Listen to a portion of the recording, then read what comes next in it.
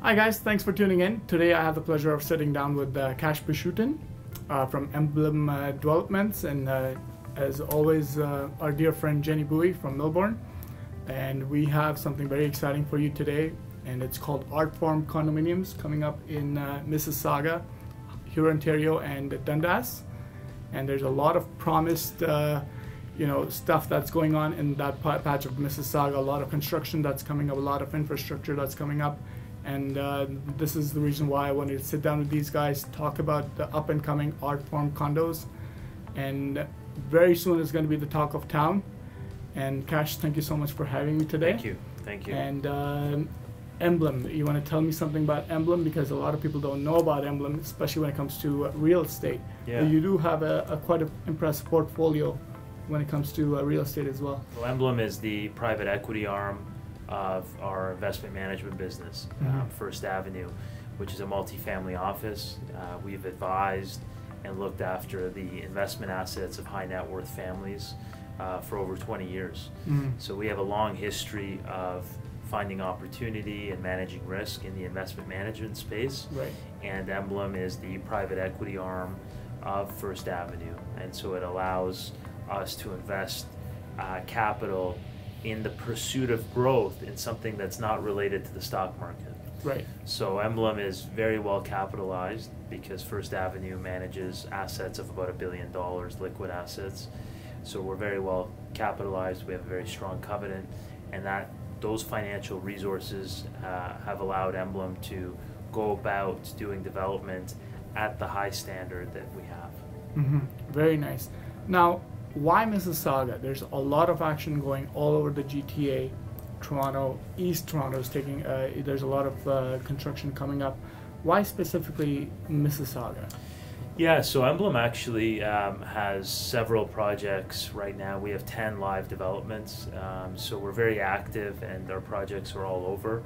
Mhm. Um, but in terms of Mississauga, we really um, we, we see a lot of opportunity there. Um, you know, in 20 years of managing money, uh, we've, we've become very good at identifying opportunity. And um, with any investment, whether it's in the stock market or in real estate, uh, you have to strike the right balance of timing Right. right? So you need to be, you can't be too early because if you're too early, it's speculative Yes. and you're hoping that a community will be built around the condominium or the home you've acquired. hmm And you can't be too late. What I mean by that is if you buy in a very well established neighborhood, then uh, it's great community, but from an investment perspective, uh, a lot of the juice has been squeezed from the fruit Right.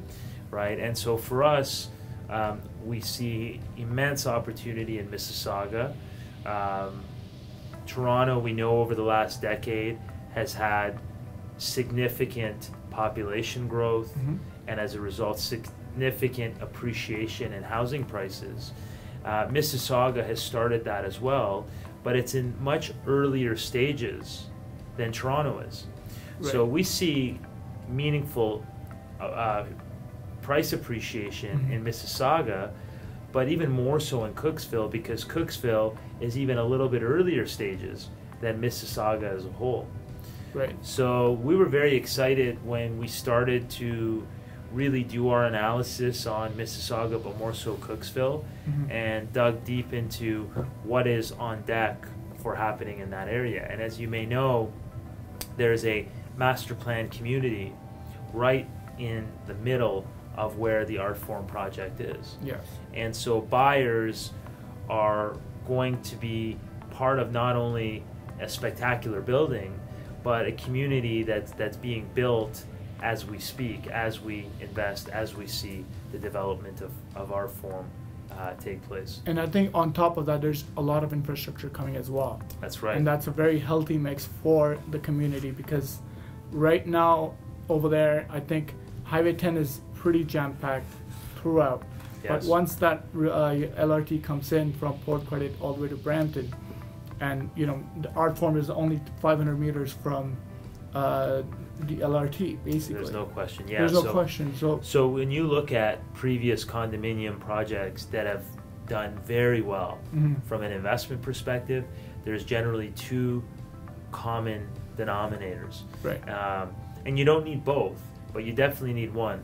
The first is we see projects that are part of a master plan community. The early projects that Mhm. are part of that community do exceptionally well in terms of appreciation and values. The second is being close to public transit Yes. right? And Artform has both of those, uh, which we're very excited about from an investment perspective. As you mentioned, the fact that the building is 500 meters from the Cooksville Mobility Hub. You know, imagine acquiring real estate in an area where the city and the government have put over 100 million dollars into infrastructure right there. hmm That is going to create a mega hub of how people will live and, and uh, transport themselves in the coming years. So you have the GO train, you have the LRT, you have the BRT. You could take the the, the, the BRT to Kipling Station, and now you're Right. on the subway. So there's not many projects where you have access to all four different ways of public transportation with the ease that you do with Artform. And then on top of that, you are so close to the hub of shopping, entertainment, uh, restaurants, dining, which is Square One, Yeah. right? And so we know the amount of development that's taking place there. Yeah. So to be that close to it, but not there full time, because as you can imagine, there's times where you just want it to be quiet Yeah, and you just sure. want things to slow down. So Cooksville is exciting because it's sort of like King West is to downtown Toronto, That's right? You you have the hub of employment right in the downtown core of Toronto where we're sitting today, Mhm. but King Street is a little bit further and it provides a sense of community that sometimes the right downtown doesn't. And to us, Cooksville is that to square one. And you're right because to me it's a very good sweet spot between Square One, which is coming up a lot more, Yeah. uh, and then QEW on the other side, and then you have the LRT as well. So you're pretty much, if you're working city center area, or if you're working even downtown or Port Credit, you're in a very sweet spot where you can access pretty much both side of the you know places, and Right, then go anywhere you, you want. have you have all directions and you know when you think about mississauga sometimes for buyers they think mississauga that's far from downtown Yeah. right well we know with traffic as bad as it is the irony of it is you can get from Artform to union station Mhm. faster than many people that live right in the city of toronto get to union station Yeah. or downtown Yeah. because of the ease and access to public transit and also the fact that like you know the it's it's you're not paying square one prices for s- price per square feet neither are you paying toronto prices which are getting a bit ridiculous. Yeah. And and uh, the indication that we have had with the prices you know it's it's a very healthy price per square feet that you guys are aiming for. And for an area that's up and coming and being revitalized the way it's going to be i think it's it's going to be you know it's it's going to be the talk of town for sure. Yeah, it's it's an important point, and, and one thing I want to say sort of is the the emblem brand. We we are not willing to compromise Right. wherever we do a project. So it's important to talk about their price point, which absolutely is very attractive. Some of the most attractive pricing that's been seen Mhm. in in that area, and certainly less than Square One. But what's important, and I think even more uncommon, is what you're receiving in terms of quality of build, Right. quality of finishes for that price. So if you look at the building, Mhm. The Artform building you can take and put it anywhere in Toronto and it will hold its own. Mhm. And often when you see areas that are up and coming, you will not see the same commitment from the developer to the quality of finishes because the area doesn't justify it yet. We've taken a long-term view here with Artform. When you look at it, you could take that building and put it in Yorkville and it looks beautiful. It would it would stand its own in Yorkville. In Right. fact, it looks like it should be in Yorkville, right? The exterior, there's no stucco being used yeah right? It's stone, it's brick, it's glass. You have large windows letting in lots of natural light. yeah Um, even the finishes inside the suites, right? They're they're we're doing we're finishing these units at a standard that's very uncommon, right? Not only in Square One, but just across the board. For example, when you look at the kitchens, we we collaborated with U31, which is one of the most well-established designers, as you Mhm. know, in Toronto. They've worked on many of the, the most recognizable downtown project, downtown Yeah. Toronto projects, and they've been the designer on this project. When you look at, for example, something like our kitchens, right? You look at the backsplash. We don't use tile, right? Mhm. We use slabs for the backslab, Mhm. backsplash. So when you look at the kitchen, it's so seamless because you don't see any grout lines, Right. which again is the norm across the board. We're bringing that at the price point that we're offering it at. And the reason why we're doing that is because we are invested in this community. We are doing more than just one project. Sure. And so by setting the standard where we are, it really helps create the community that we want to create in the Cooksville area, right? So you have slabs in the backsplash with that match exactly the same slab as you have on the countertops. So when you look at that kitchen, you're not sure why it works or it gives you that feeling of wow, this is beautiful, but Mhm. it does. And that mindset we've carried throughout the entire project.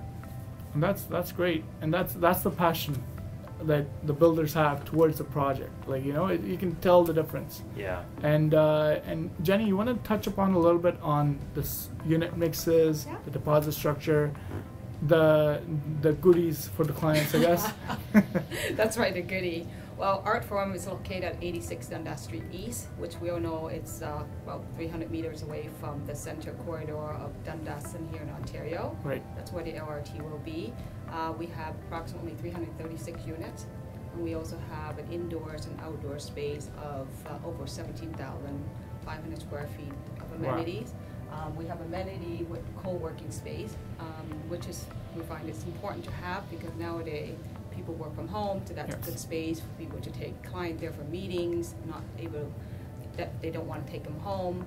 Um, the suite mix, we have, I mean, Kash will go in detail of the design because we spend so much time and, and also like we're like between Emblem and I and JCI, we able to create some incredible layout and the way how it designed, we wanted to tailor and cater to the clientele in the area in that corridor. Mhm. Um, so the one bedroom plus den, we don't have one bedroom, we don't have studio because we realize that a lot of people, you know, now you, you don't, I mean, one plus den, you need a space with an office and we want to create that den that it can be like a flex where you can use as a bedroom if Right. you need to. Um, and then we also have one bedroom plus den, um, and then two bedrooms, and two bedroom plus den that over 800 square feet. Now, a lot of our one bedroom plus den, the second bedroom, uh, the den can be used as a bedroom. Same thing with a two plus den. It Mhm. could be a three bedroom as well. Mhm. So there's no wasted hallway design. Um, we have smooth ceiling. We have some incredible finishes, which Kash is going to touch on that. Uh, frameless glass shower, for instance. Most builders don't give that, but Yeah. those are the detail that we put in, and that's what makes that feel of luxury and that feeling that we don't compromise anything on our finishes just because this building, like Kash said, we could put that into Yorkville and it still fit Yeah. just because the design of it, so much attention Yeah. to detail. The emblem brand is really predicated on exceptional design, right? And for us, we view that there's no substitute for exceptional design. There's no amount of money you can spend that will make up for a building that's not well designed, Mhm. right? So finishes are very important, but we start with something even more important, which is the design. So when you look at the floor plans of, an, of any emblem project, you will see there's not an inch of wasted space, Mhm. right? When your client buys a build a unit from floor plans, what they don't know is when they're buying a build a unit that's 600 square feet, and 80 of that square feet is hallways, Mhm. right? They're not really buying a 600 square foot unit That's very right. Yeah. right? Yeah. And so we imagine living in that space before the client gets the keys and walks in and says, "Wow, this is feels smaller than I thought." Mhm. Right? We are obsessing about those details. Every floor plan, whether you buy the smallest unit or the largest unit in an emblem project, you will see that there was an obsession with the design. So we start with that before we even get to the finishes. Right? And so that's why I'm sure in your experience you've seen you'll walk into a unit that's 600 square feet Mhm. and it feels larger than a unit that's 800 square feet. That's what great design does, Exactly. right? And so we've done that with with all facets. As Jenny mentioned, the our end goal here is is focusing on what the quality of life is, right? And the best way to achieve a, a great quality of life in a condominium building is to obsess with design, right? Because at the end of the day, if the countertop is white or black, it becomes very ordinary over time, That's right. right? But if you have a great design building, unit, common areas, that's something that you enjoy every day. And vice versa. If you have a unit that didn't have much time and attention spent to the design and how the homeowner will use that space, it will feel uncomfortable forever and that doesn't get old either. So there that's why I say that there's no substitute for great design because it really is true. On the amenity space, we have 17,500 square feet Yeah. and that's a lot in terms of square footage. But what's important is remember, this is not a high rise building.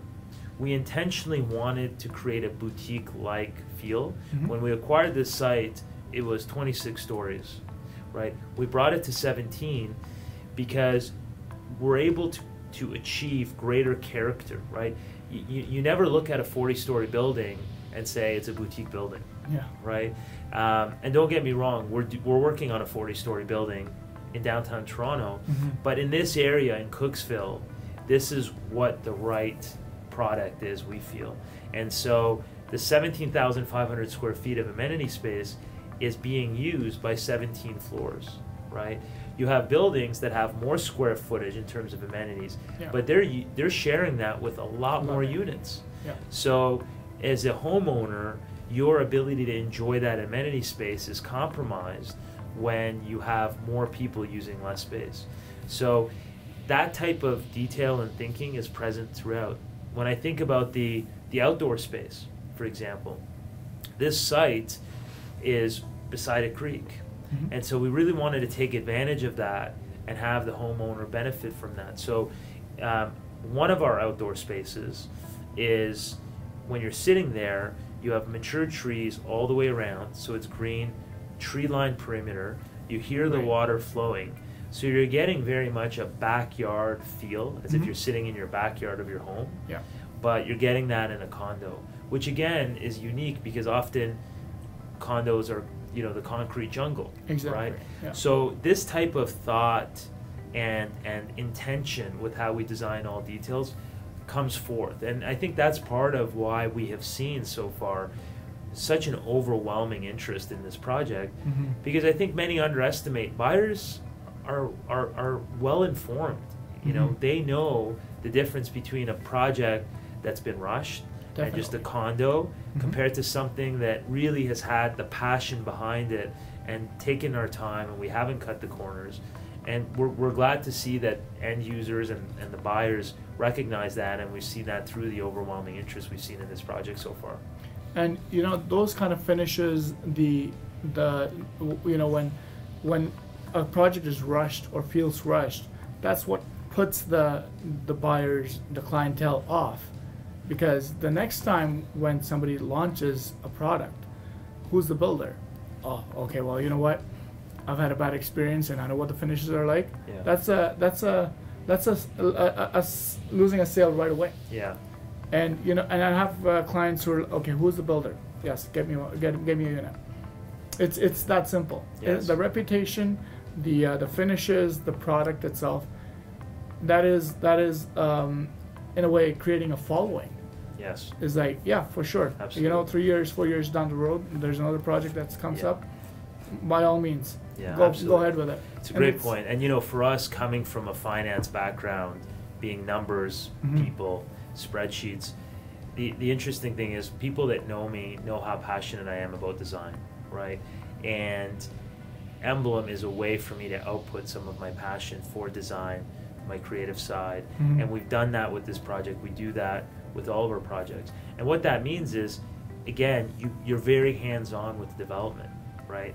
And so something as as when you look at the kitchens, I will be at the millwork factory on a Saturday looking at the grains. Mhm. I absolutely will, right? I will be involved in the paint color. You know, there's over 200 different whites that you can paint and put on a wall. I can tell you the paint code of what we've chosen to use there because I, I want when the light t- that hits it Mhm. to not feel too cold and blue, you know, but at the same time, I don't want the wall to have a beige feel to it either. I want it to be completely neutral. So if you like your furniture to be green and blue, it really accentuates your furniture. Whereas if your neighbor likes more of a neutral palette, it accentuates that palette as well.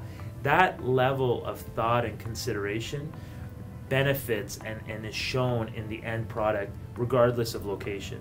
We so happen to have both with this project that level of passion Yeah. in the, the building itself, and then, of course, what we spoke about earlier, which is the location, given where it is in proximity to Square One and all of the public transit that's available as well. And I mean, the level of involvement is is, is amazing. It's like attention to detail. You already kind of know, Yeah. like you know, you're you're getting into something that's gonna be fantastic.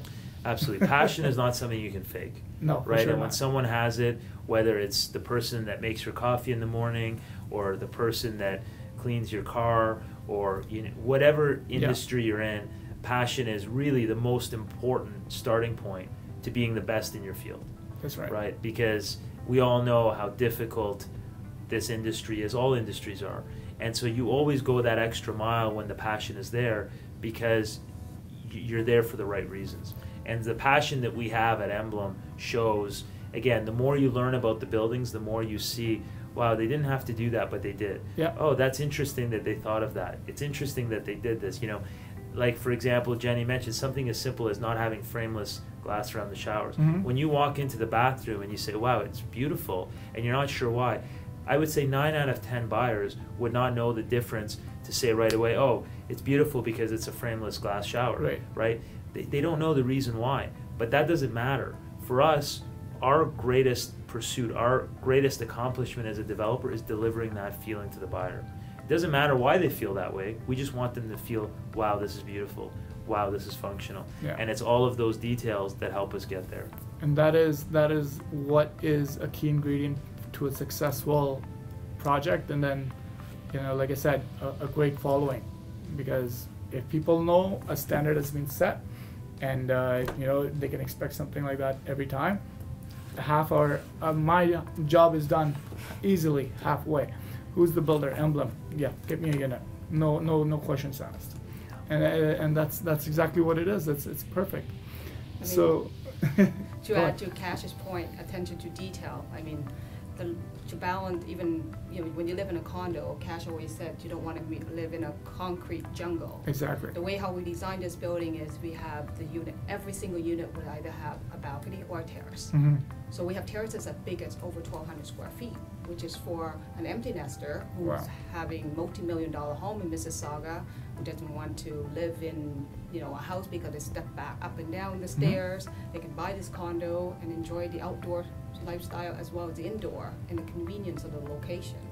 yeah And in terms of amenities, we, you know, even twenty-four hour concierge, we wanna make sure that, you know, security and also with a lot of, uh, online shopping these days, we wanna make sure that people receive their packages. So Right. we, we even create a parcel room that is big enough to house a lot of the packaging, just Mhm. because a lot of us are shopping online, we don't really go Definitely. out there and shop Things have changed anymore. quite a bit, yes. Yeah, and then the outdoor space, even, you know, the detail to the color um, of the uh, co-working space. I mean, Kash has a hand in picking the detail of that color. Yeah, we're very involved. I mean, um, you know, there's a lot of psychology be- behind what different colors make you feel, Yep.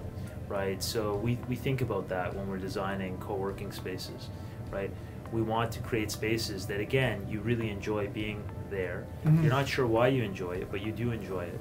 But that's our responsibility as a developer, right? When I think about even something like our, our flooring, sort of, we, the flooring we used, we look at how is that oxidized with the sun hitting it and what color will it be six months, eight months, 12 months, Right. 24 months later. Wow.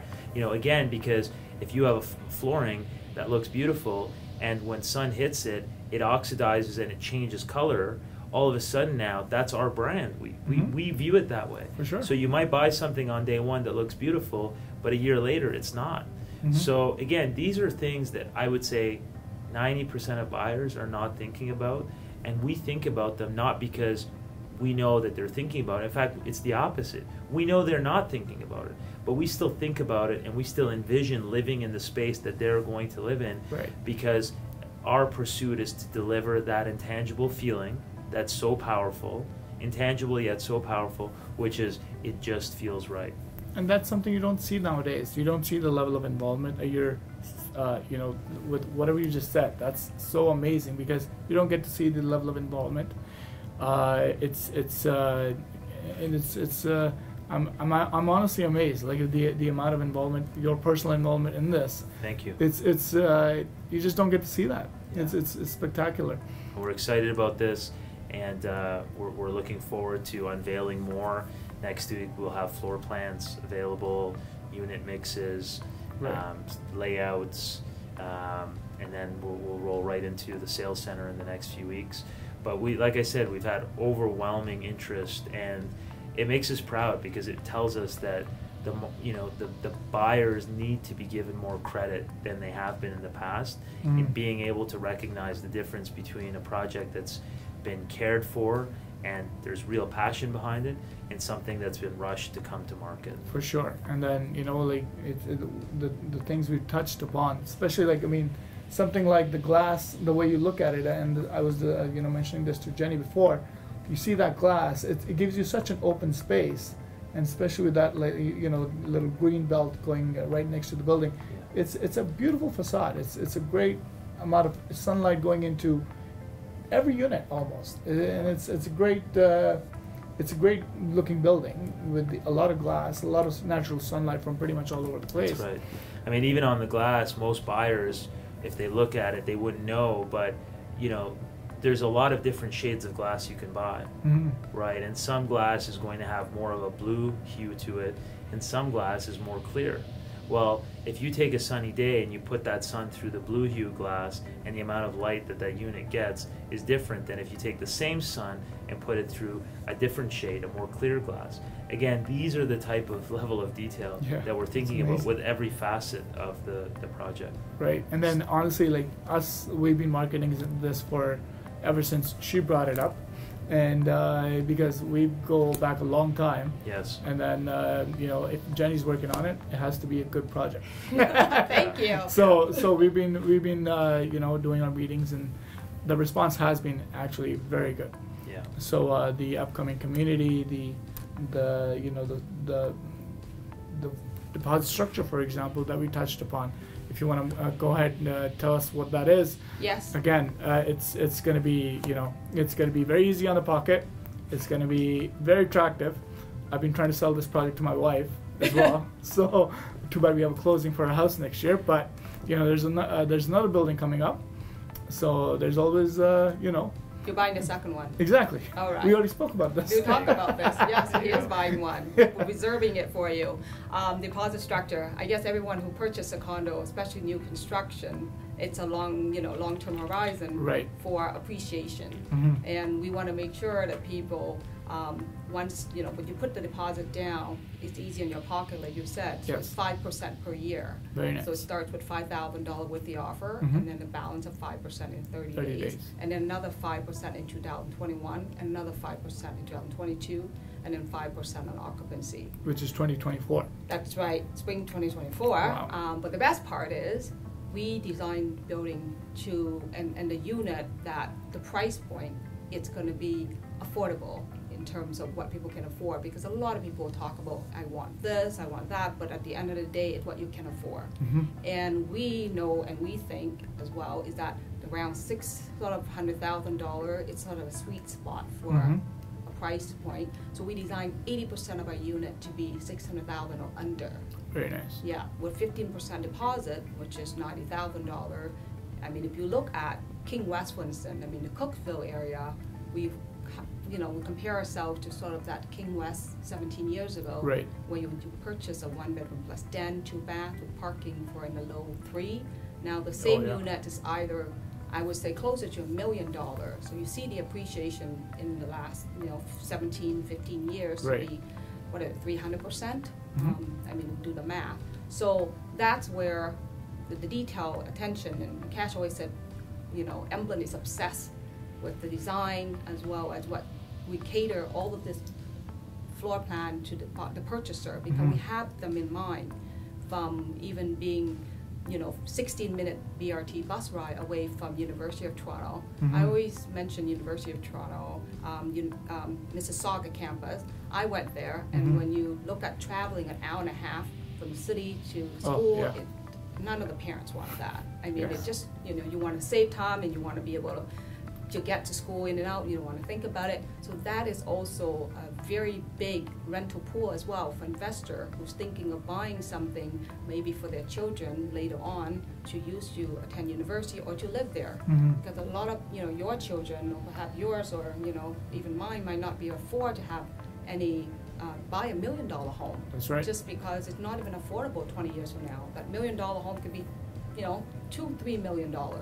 So to build wealth and to even em- empty nester who is not at this point ready to retire yet, they can buy it, rent it out, and then have someone pay off the mortgage. Exactly. And then retire in it because by the time you're ready, it's already mortgage free. So, I mean, going back to Yeah. investing point, It's strong. Yeah. And not only is the deposits schedule compelling and the introductory pricing is compelling, Mhm. but that's not coming at a sacrifice or a compromise. You know, we've talked about the quality and the finish of the exterior, right? And you see it with the stone and the glass and not using stucco or Mhm. stucco like materials.